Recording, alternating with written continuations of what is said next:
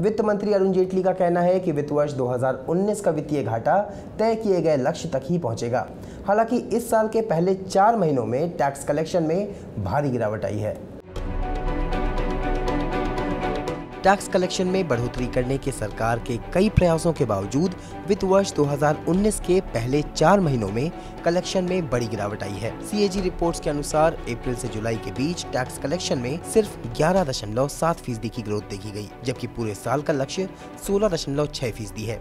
इसका मतलब है कि अब साल भर के लक्ष्य को हासिल करने के लिए अगस्त से मार्च के बीच 19.4 फ़ीसदी की दर से टैक्स कलेक्शन करना होगा। अप्रैल से जुलाई के बीच टैक्स कलेक्शन की ग्रोथ 17.1 फ़ीसदी, छब्बीस फ़ीसदी और 17.9 फ़ीसदी थी, जो मौजूदा वित्त वर्ष के मुकाबले काफ़ी ज़्यादा है। इस दौरान कॉर्पोरेट टैक्स की ग्रोथ भी काफ़ी धीमी रही। अप्रैल से जुलाई 2018 के बीच कॉर्पोरेट टैक्स कलेक्शन की ग्रोथ पिछले साल के मुकाबले सिर्फ़ शून्य दशमलव छह फ़ीसदी रही है। जबकि साल भर का लक्ष्य दस दशमलव दो फ़ीसदी है। इनकम टैक्स कलेक्शन की ग्रोथ भी अप्रैल से जुलाई के बीच वित्त वर्ष 2017 में अठारह दशमलव आठ फ़ीसदी थी, जो वित्त वर्ष 2018 में इसी दौरान अड़तालीस दशमलव आठ फ़ीसदी रही।